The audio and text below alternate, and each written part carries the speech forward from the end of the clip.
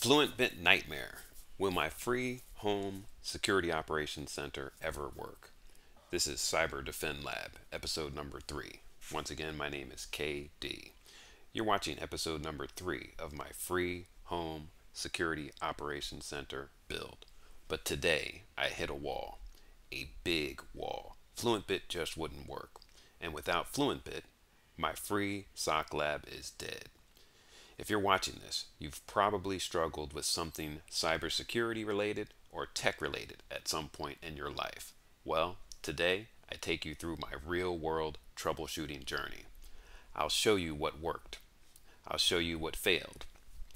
I'll also show you why setting up a free home SOC lab can be done with a little bit of troubleshooting. What's new in my world today? Well, FluentBit mysteriously disappeared from my system. Error logs flooded my screen. I tried everything. Did I succeed? No. But I will, and so will you. This is the reality of cybersecurity troubleshooting. Let's begin. My home SOC lab setup. If you missed episodes number one and number two, let me catch you up. I built a home SOC lab using AWS, Ubuntu, rsyslog, FluentBit, and Grafana. Episode number two was all about Grafana not showing up, not showing logs. I thought FluentBit was working, but upon double checking and triple checking, I was wrong. Now, in episode number three, I focus on troubleshooting FluentBit. My goal today, get FluentBit to work properly so that logs actually reach Grafana. Easy, right? No, not even close. Problem. FluentBit is installed. Or is it? I tried starting FluentBit.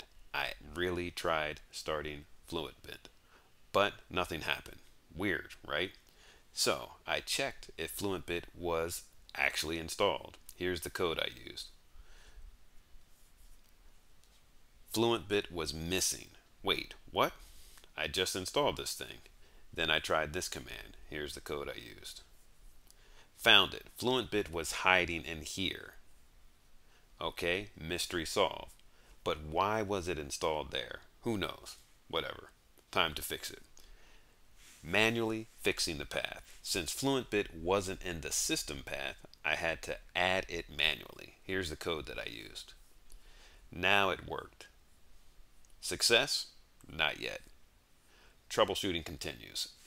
Starting FluentBit. All right, time to start FluentBit again. Here's the code that I used. FluentBit is now running, but here's the problem. Grafana still wasn't showing logs. FluentBit works, but Grafana is still broken. So here's where I'm at now. FluentBit is finally running after triple checking. Logs are being processed.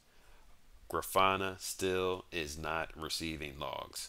Okay, I solved one problem, but another one appeared, and that's how cybersecurity works. Debugging, troubleshooting, but I'm not giving up. What's next? Episode number four. In episode number four, we'll continue troubleshooting our free home SOC lab. We'll fix FluentBit's connection to Grafana. We'll make sure logs actually appear in Grafana, and we'll prove that building a SOC at home for free is absolutely possible.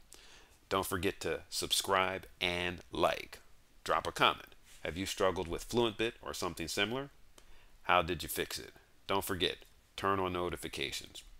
We're going to get this home SOC lab fully operational together. Once again, my name is KD. Cybersecurity is about persistence.